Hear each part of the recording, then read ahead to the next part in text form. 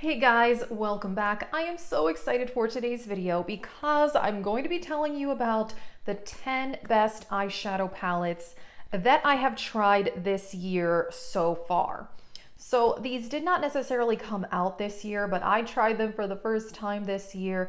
This is a combination of palettes that I bought myself on my low buy, but also some that I got in PR and also a couple that my husband had purchased for me for my birthday in January. So yeah, I'm pretty excited to share these with you. If you're interested in eyeshadow palette related videos, check out the eyeshadow palette playlist and let's get started.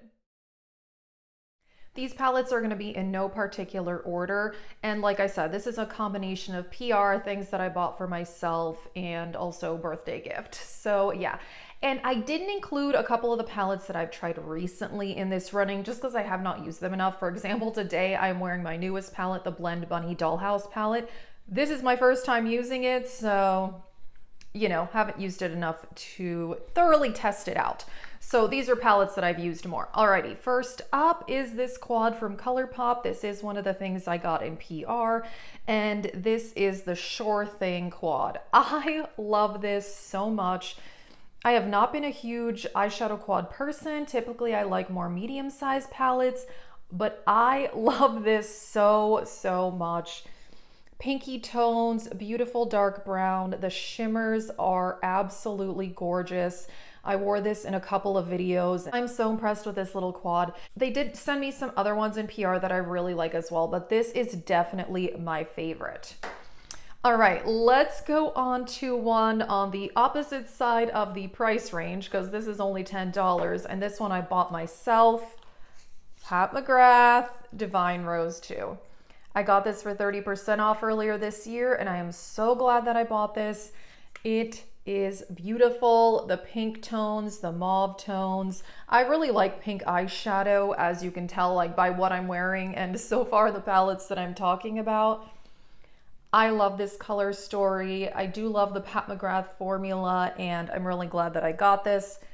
It's expensive, so I'm glad that I waited for a 30% off sale. And yeah, pretty thrilled about that one. Let's talk about this little one here, the Natasha Denona Mini Biba. This was a birthday gift from my husband and this is one I asked for it for my birthday because I was like, well, I don't need this. It's a neutral five pan, like I won't buy it myself, but if he wants to get it for me, great. And he did, and I was so excited. And now that I've used it, I must say it is beautiful. And I do have the full size Biba. I think it's different enough from that one. And that one I think leans more neutral brown, whereas this pulls very peachy. There's a lot of peachy undertones. My dog is barking. I don't know what his deal is. Um, yeah, peachy undertones Really, really beautiful. This shimmer is stunning. And the reason I was also very excited about this palette is this is what happens if anyone with a dog walks past our house. He's like angry that they dare walk in front of his house. I don't know. He's a dog. um, okay, I was so excited that this palette has a cream to powder in it. I hope she includes more cream to powder in the mini palettes because I really like that formula. I know not everyone likes it. Personally, I think it's great. I find it easy to work with. So yeah, this is super basic, but the quality is amazing. And you can really do some dramatic neutral looks with that or something like simple and everyday. Now, I mentioned that I love pink tones. I had to include the ColourPop by the Rose A. This is one of the ones I got in PR as well, and it is amazing. If this palette disappeared, I would go buy it myself. I love it so much. I like pink tones, and this has been a big trend this year. I'm going to talk about some other pink toned palettes. This one is a very good price point. The quality is amazing. The shimmers are stunning. You get the depth with this gorgeous burgundy color right there. That one is so nice. This shade, one of my favorites like ever. So yeah, By the Rose is fantastic. One that I was very surprised made it to the top 10 is the BH Switzerland palette. And this I bought at Marshall's for only $8. And It's amazing. It is absolutely amazing. The quality, fantastic. I love the color story. I like the variety in this palette, but it still makes sense as a color story. You get these beautiful mauve tones here, gorgeous greens. This yellowy mustard shade, amazing, absolutely amazing. I did film a look with this palette and that you can find in my makeup looks playlist. I'm trying to think, I've filmed looks with a couple of the other palettes. The previous ones here that I talked about, I don't think I filmed looks with, but some of the others I did. So makeup looks playlist, you can find those there. I just love this so much and I am still waiting for BH Cosmetics to come out with new palettes. They said that they were and I have not heard anything. If you have heard when those are coming out, please, please let me know um, because yeah, they were bought by Makeup Revolution, and I think we're all like waiting to see is the formula still going to be good because this formula is absolutely amazing. Love it so much. Um, another one that I bought myself, I love it so much, the Oden's Eye Hella Palette. This is the collab with Angie. And I do have other Oden's Eye palettes. I really enjoy their formula. I've only tried some of their newer palettes that have this shape of pans. Some of their older palettes have the circle pans. I have not tried those, so I don't know if the formula is as good, but personally, I really love this one. The shimmers are so foiled and metallic. I do use a wet brush with the shimmers from Oden's Eye. Otherwise, they can be a little dry and flaky and have a lot of fallout, but with a wet brush, they're amazing. And Oden's Eye has some of the best mattes that I have tried, especially for colorful mattes. They are really easy to work with. And I love the color story of like the pinks and the greens and like these purpley taupes. It's just, those are some of my favorite shades, honestly. So yeah, the Hella palette is fantastic. Next up is the What's Up Beauty Geodes palette, and this one I got in PR. This is an indie brand as well. They are based out of Arizona, and they also make nail polishes, and they have sent me some of their nail polishes, and they are beautiful. This palette is fantastic. I really think this brand deserves more hype. They released another palette last year, and I really like the, the formula is identical. I think the formula is great. I do prefer the color story to this palette. This is more up my alley because you've got the pinks and the purples here. This green is amazing. This yellow is fantastic. I did film a look with this palette and it is so pretty. The sparkle in these shades, they are stunning. So yeah, I did a whole video on this one and I'm really, really impressed. I definitely think they deserve more attention and that palette is just amazing. Alrighty, this one, Melt Gemini 2, I had to include this one in the top 10. This is the first melt palette I've ever tried. I bought this earlier this year and I did a review and look video on it when it came out. So again, you can check that out. Amazing. Wow. They are known for their matte formula and I can tell that. These mattes are smooth pigmented. They essentially blend themselves. Even these darker shades, sometimes darker mattes, can be harder to work with, but these are not. And I know that some of the melt palettes in the past have been a miss for some people. And that's why I waited. That's why I didn't buy a melt palette until now because I was a little worried because some of their palettes got bad reviews, but then some got amazing reviews. So I wasn't sure, but I decided to take a chance because this color story really spoke to me. I still do think that this green shimmer is beautiful and then this burgundy shimmer is also really pretty.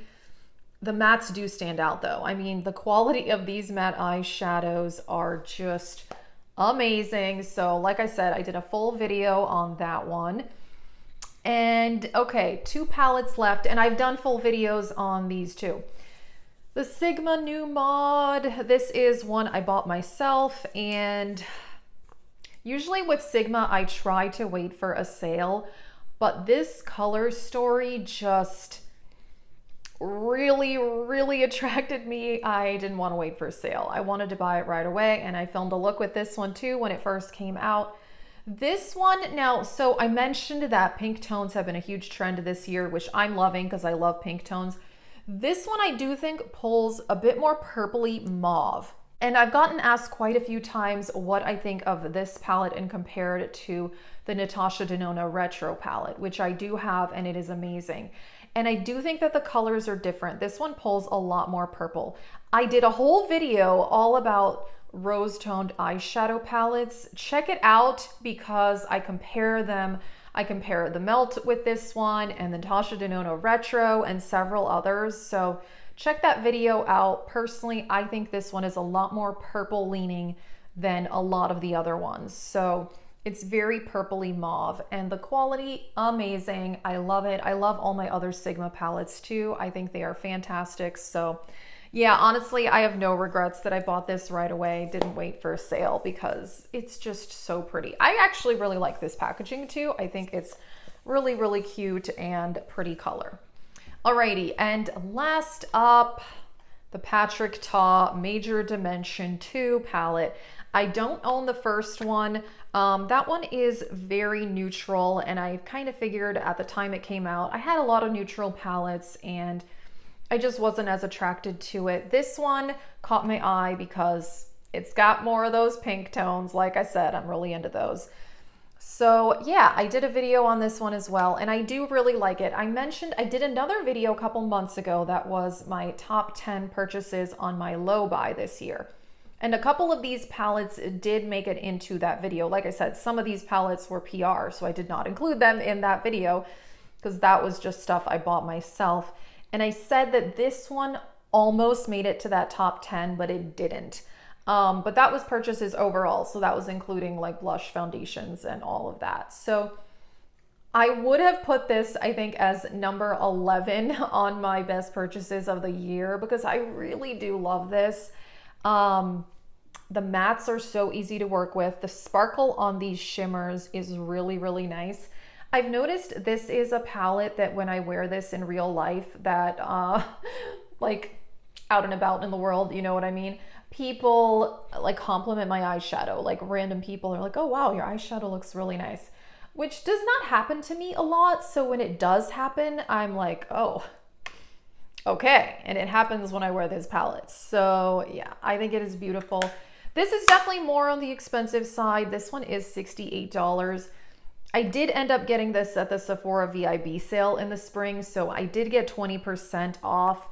And without the 20% off, I, I do think it's expensive and I do like the cream shadows in there, but I don't know. I do think that it's, a little overpriced. I feel like $55 might be more reasonable, um, you know, but who am I to tell people what to charge? But I was happy that I got it during the VIB. Alrighty, that is it for this video. These are the 10 best palettes I have tried so far this year and I'm pretty excited. These palettes are amazing, but I'm also excited to further test out like the Blend Bunny palette, which I'm wearing today for the first time. And I just did a look earlier this week on a different palette that I got um, from Unearthly Cosmetics. And that was a first impression. And just based off the first impression, it was amazing. But again, I need to test it out more. But I really liked the look. So yeah, you can check that out if you are interested. Let us know what are the best palettes that you have tried this year or in general. And yeah, that is it for this video. So check out the eyeshadow palette playlist because I have a ton of eyeshadow palette related videos. Thank you so much for watching. Have a great day.